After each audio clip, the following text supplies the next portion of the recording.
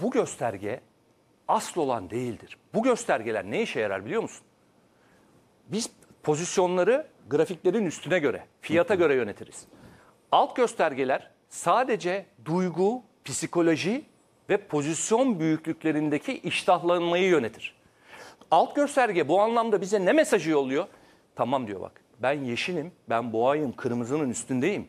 Ama bak eğim anlamında bir aşağı doğru süzülüyorum. Bu benim için bir güç kaybı. Hala boğadayım, kabul. Diyor ki yeşil kırmızıdan buradaki gibi bir uzaklaşma eğilimine girene kadar diyor alt gösterge o pozisyonlardaki risk iştahımızı ve pozisyon büyüklüklerimizde riski de pozisyonların içinde bırakalım diye bir mesaj oluyor. Valla benzeri olacak gibi siz dediğiniz gibi. Uğur, buradayız. Buradayız bakacağız. Ama aylara baktım sanki aynısını yaşayacaksak tabii müneccim değilim oraya göre konuşuyorum. Sanki bir 6 haftası daha var gibi. 6 hafta olur, 2 hafta olur. Çok ama yani maksimumda 6 hafta gibi görüyorsun doğru ama ben o kadar sürmeyeceğini düşünüyorum. Evet. Bakalım hisselere o zaman. Garanti Bankası e, nasıl bir duruma geldi? Bu arada Garanti Bankası için de hafta içerisinde bazı kurumlar beklentilerini yukarı yönde revize ettiler. 165 liraları artık telaffuz ediyorlar.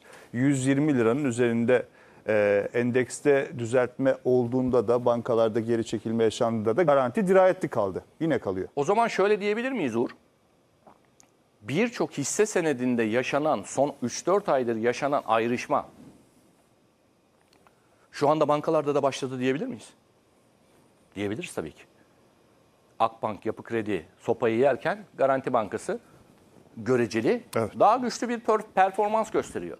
E, bunun sebeplerini takip etmek lazım tabii. Yani arka planda neler dönüyor, odalarda neler oluyor bilemeyiz. Onu zaman içinde yaşayarak öğreneceğiz. Ama şu var, burada net bir şekilde yeşil ve sarıyla gösterdiğim, sarı sarı da elle çizdiğim aynı zamanda 21 ve 13 günlük hareketli ortalama bölgesi. Yükseliş trendi var. Bu yükseliş trendi içinde grafik nasıl refleksler üretiyor? Önce bir geçmişten kendimize bir izler bulalım. Bak, yeşil kanala gelince 8 günlük hareketli ortalamaya doğru bir düzeltme.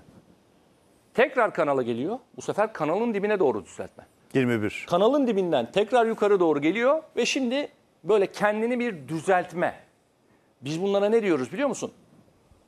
Orta vadeli yükseliş trendi içinde kısa vadeli bir düzeltme arıyoruz. Hiç kanalın dışına çıkmamış. Örnek 1, örnek 2, örnek 3. Dolayısıyla bu grafik bize kısa vade şunu öğütlüyor. Garanti Bankası 127.40'ları geçmedikçe veya geçene kadar geçmiş ayak izlerine göre kontrollü olmak lazım. Çünkü neden? Orta vade trend yukarı. Hani Garanti Bankası'nda burası tepe diye bir, net bir disiplin yok ama şu var. Bu 127.40 kanal direncine geldikçe daha önce yaşadığı baskılar gibi bir baskı görmesi ihtimaline karşı dikkat yeni maliyet yaparken temkinli olunmalı. Eski maliyetli mallarda da trend disiplininin bozulup bozulmadığı doğru bir şekilde takip edilmeli. Bu anlamda e, Garanti Bankası için söyleyeceğim şey şu. 119 düzeltiyorum. 117 112 20. 117 ara destek, 112 20 trend desteği. Çok önemli bak. Görüyor musun? Daha önce çalışan trend desteği. Dolayısıyla 112-20 kırılmadıkça 127-40 geçilene kadar 127-40 ile 117 ve 112 bölgesine doğru baskılar oluşabilir. Evet. 112 kırılmazsa tekrar 127-40 hatta belki de 135'lere doğru ana akım devam edebilir.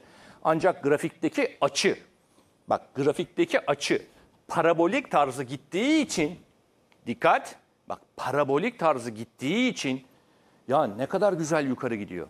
Ne kadar güzel bir verim eğrisinin içinde derken açının ve trendin bozulma disiplini 112-20 mutlak suretle özellikle kısa vadeli pozisyonlar için doğru bir disiplinle iş süren veya destek olarak takip edilmeli. Çünkü 112-20'lerin altında Garanti Bankası'nda sarı ve ye- yeşille görünen yükselen kanal 98 hedefiyle bozulur. Yani oldu da disiplin çöktü. 112'nin altına sarktı. 100 liranın altına kadar inebilir. İhtimali doğuyor. Harikasın. Yani inebilir kati bir şeydir biliyorsun. Hiçbir analiz yöntemi %100 doğruyu vermez. Ama 112'nin altında burada görülen teknik disiplin bozulacağı için 99 ve 98'lere doğru bir aşağı yönlü disiplin tetiklenebilir. Garanti Bankası'nda. Devam edelim. Ee, bu dönemde bankalar ve holdingler çok konuşuluyor. Konuşulmaya da devam ediyor. Sabancı Holding'e bakalım. Sabancı Holding'de de hafta ortasında 100 liraların hafif üzerine görüyoruz. Ee, özellikle holding hisselerinde Koç ve Sabancı bu dönemde ön planda tutulmuştu. Peki teknik grafik Sabancı Holding adına ne anlatıyor? Geldi ekranlara. Buyurunuz. 75, 110. Şimdi düzeltiyor. Buradaki düzeltmesini nerede tamamladı Uğur? 55 günlük hareketli ortalaması. Evet. Daha sonraki düz- düzeltmesini 55 günlük hareketli ortalamasının altında 4-5 günlük bir mızmızlanma dönemi olsa da yine 55 günlük hareketli ortalamanın altında kalıcı olmadan aşağı yukarı bu tep bu düşüşünün 61.8 78.6 bölgesi olan 106.60'lara doğru e, bir tepki hata yaptığını görüyoruz. Şimdi ne yapıyor? Buradaki 106.60'daki Fibonacci direnci bak 78.6'sı kaç? 106.60 görüyor musun? Evet. İğneyi görüyor musun? Gördüm. Tam buraya gelince şimdi tekrar kendini bir aşağı yönlü şuradaki çıkışını düzeltmeye sokuyor. Ee, dolayısıyla Sabancı Holding için söyleyeceğimiz şey şu. 95-70'te önemli bir desteği var sevgili Uğur. 95-70'lerin altındaki kapanışlarda 89'lara doğru bir baskının devam etme. Bir miktar daha aşağı yönlü bir genişleme riski doğ- doğabilir. Hani aşağıyı kontrol altında tutmak için. Dolayısıyla 95-70 ara destek, 89 TL Sahol'ün güçlü ve önemli orta vadeli destek bölgesi şeklinde yaftalayabiliriz. 95-70 ve 89 bölgesine geri çekilse dahi 106-60'ların geçilmesiyle 115-15 kısa 126 TL'li orta vadeli büyük resimdeki ana fokus bozulmayacaktır. Burada 115-15 126.02'deki bu ana resimin bozulma riski 89 TL'nin altında sorguya açılmalıdır. Bu arada böyle bir piyasada bir aylık performansına baktım %12 mevduatın üzerinde getiri sağlamış. E tabii işte ayrışmalar oluyor ya. Mesela bu giderken hiç gitmeyen holding var. Evet. Çok seçici olacağız. Çok. O kadar çok seçici Gidip de olacağız. düzeltilen Tabii var. abi deli misin yani? Otomotivde mesela. Otomotiv biliyorsun son Evet. dönemde çok büyük performans gösterdi. Hala bozuka gibi dimdik duran da var. Teknik anlamda kısa vadesini bozan Ki da bu var. sene otomotivde gider mi ki deniliyordu seneye başlarken. Bayağı Tabii bir faiz şaşırttı. artarken otomotiv mi gider falan filan derken gittiler işte. Bazen her şey temelle ölçülmüyor. O yüzden teknik analizi bu kadar çok bazı arkadaşlar gülüyorlar ya. ya Gülmesinler. Kim gülüyor ya? Ben öyle bir şey görmedim. Var var öyle tipler var. Siz yayınlarda değil de sosyal medyada e, teknik analizi tiye alanlar var. Tabii onlar da insanlar bilmedikleri şeyin cahildir derler ya o hikaye. Kesinlikle.